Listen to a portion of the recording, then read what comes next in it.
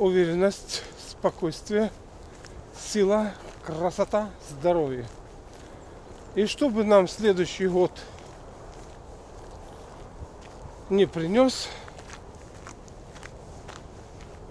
сохранять уверенность, потому что все это справедливо и оттуда.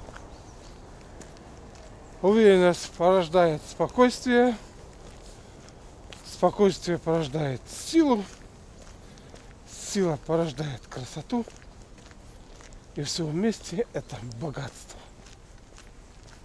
Вот так себя немножко взвинтил, настроил на лад. Очень важно делать подобные настрои.